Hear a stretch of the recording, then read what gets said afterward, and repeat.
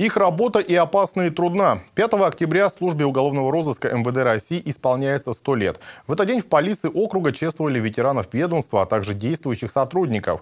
Им вручили нагрудные знаки и медали в честь юбилейной даты, а также отметили почетными грамотами и благодарностями за добросовестное исполнение служебных обязанностей, профессионализм и личную дисциплинированность.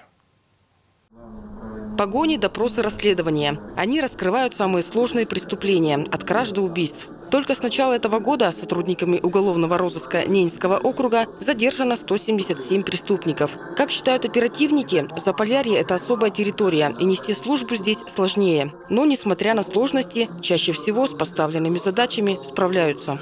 Есть, естественно, ряд э, специфических особенностей, э, связанных значит, с труднодоступностью, удаленностью населенных пунктов, отсутствием развитой инфраструктуры, транспортных сетей. Э, но сотрудники значит, с ними справляются, преодолевая их в зимний период времени, значит, добираются до мест происшествия с использованием снегоходной техники. Значит, в летний период времени это значит, авиасообщением.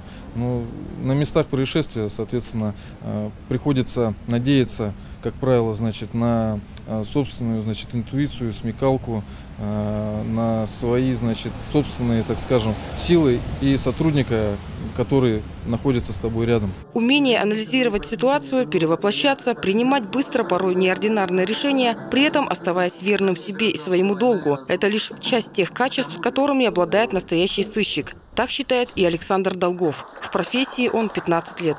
Преемственность э, является одним из основных значит, принципов для зарождения, так скажем, э, хорошего сыщика. Э, пенсионеры, которые прошли определенный путь разыскной деятельности, безусловно, помогают и в настоящее время подсказывают молодым сотрудникам, значит, какими качествами должен обладать настоящий профессионал, настоящий сыщик.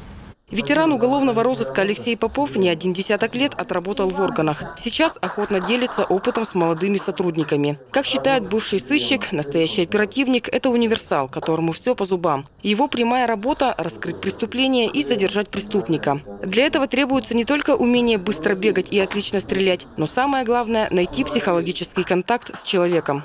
Прежде чем разговорить, надо э, потенциально, это сказать, свидетеля надо с ним психологический контакт установить. Вот это самое сложное.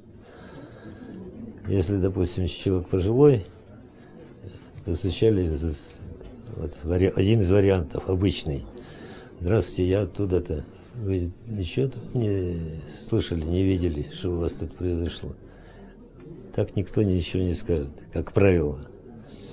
А если поинтересовались здоровьем, там это самое, как у вас соседи туда-сюда – и потом подвести э, к интересующему вопросу, то, как правило, всегда люди помогают. Работа сотрудников уголовного розыска очень опасна, но чрезвычайно необходима, хотя и не всегда видна обычному человеку. Сотрудники этого подразделения одни из первых встают на пути у преступников, охраняя жизнь и покой жителей и гостей округа.